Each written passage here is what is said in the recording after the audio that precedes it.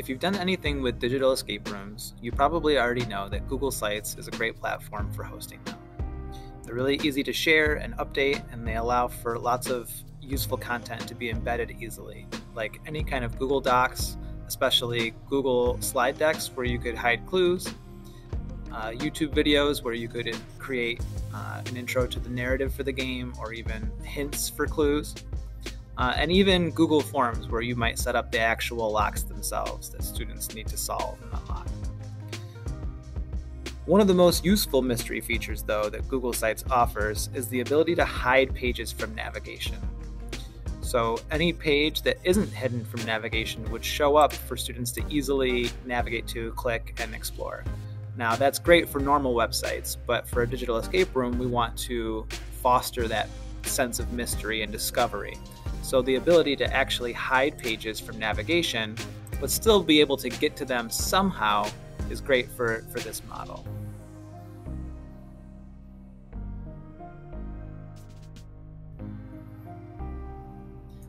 So hiding pages is actually really easy. Uh, under the Pages tab, if you have a page already created that you want to hide, you simply need to hover over it, click the three dots that show up next to it, and click Hide from Navigation and you'll see immediately that page disappeared from the navigation menu at the top. And if I go back, I can always click Show in Navigation and it'll come right back.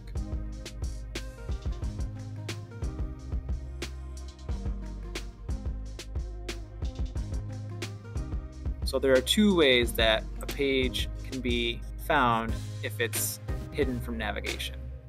The first way is to go directly to its URL. So um, when I go to a page, I can get its URL and I can actually customize the back half of the URL too. So um, I might take that URL and link it in another clue somewhere, maybe like an object on a Google slide deck, um, so that students can find that link, click it, and be taken to that hidden page where I have some more clues or a lock or something.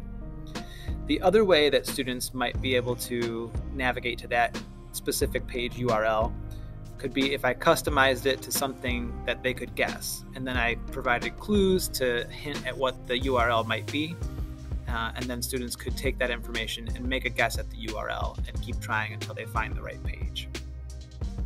So those are some ways that we could use the direct URL for the page, the hidden page, to, to add that feeling of mystery. And there's another way that students can find hidden pages on Google Sites, and that is through the search feature. So when you publish a Google site, you will get a little search icon in the corner. And that search icon will pull any text that you search that it finds somewhere else on the site.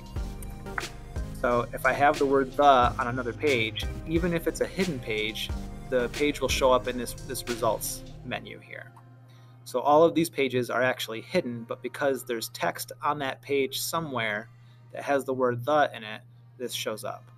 So if you're wanting to hide pages uh, and not have students be able to search for them, you're going to want to be careful with the language that you choose, especially in the title.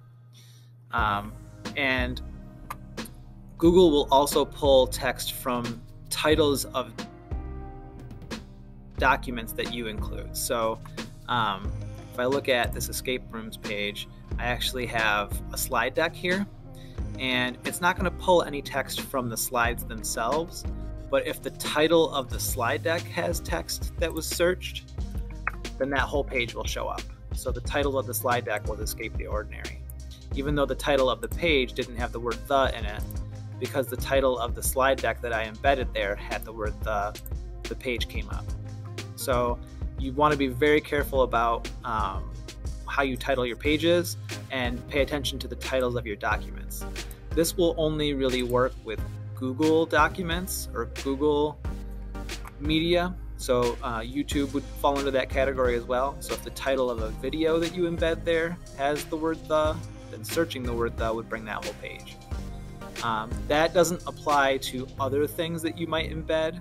For example, you were to create a widget on Scratch,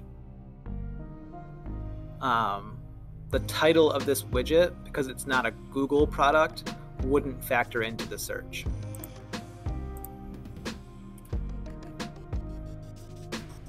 that page isn't there. even though the word the Scratch program itself has the word the in the title. So this can be maybe problematic if you want to just hide pages and use the direct URL, but it also creates some opportunities where you could create clues that tell students to search for certain things so that they try to find these hidden pages almost like a scavenger hunt.